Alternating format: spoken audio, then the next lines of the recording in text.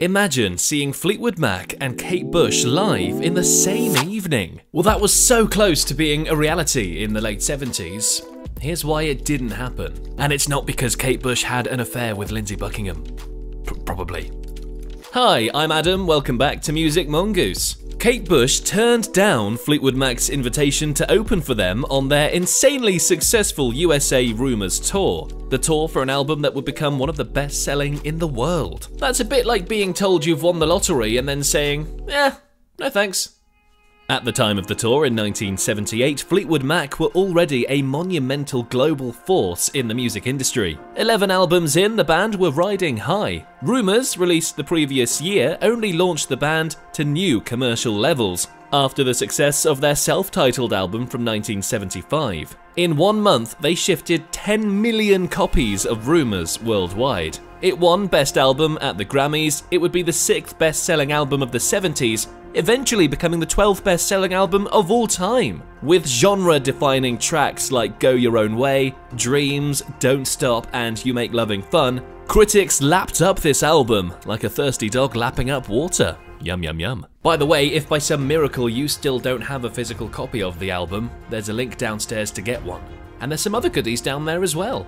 Go on, have a look. Secret goodies. Mmm. Anyway, safe to say Fleetwood Mac were on top of the world at this point, and you'd have to be mad to turn down a support slot from them. Or you'd have to be Kate Bush.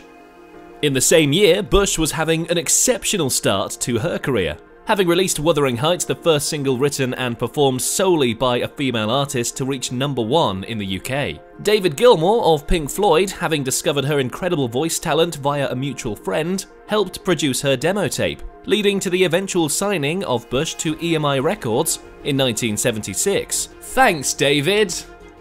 Capitalizing on the success of Wuthering Heights, Bush was quick to release her debut album, The Kick Inside, co-produced by, guess who? David Gilmour. Thanks, David!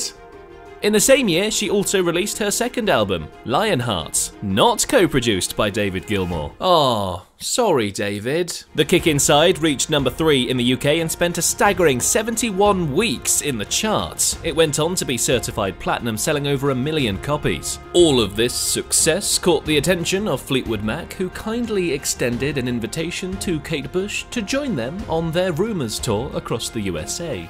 Kate Bush responded with, Nah, f off, mate.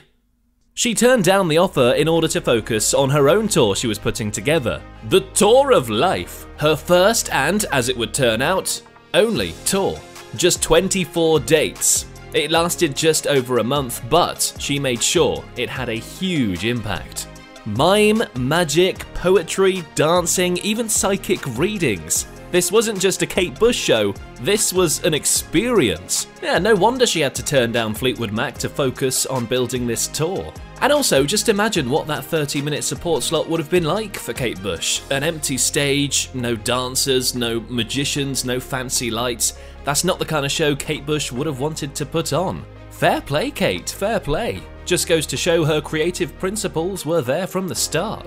The tour can even be accredited with the invention of the very first wireless headset microphone, and she was the first performer to ever use one on stage. Sadly, the tour also involved the death of Bush's lighting engineer Bill Duffield, who passed away on the job. Some say this is a contributing factor as to why Bush decided never to tour again. So to be honest, I don't think Fleetwood Mac should have felt too bad for Kate Bush rejecting their offer because she stopped touring altogether a year after. And let's face it, she didn't need that support slot, did she? She did just fine on her own.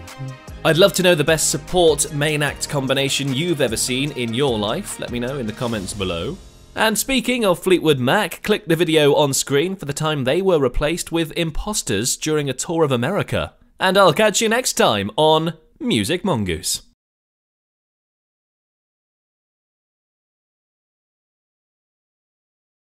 Still here, are you? Click the bloody video, what you doing? Weirdo.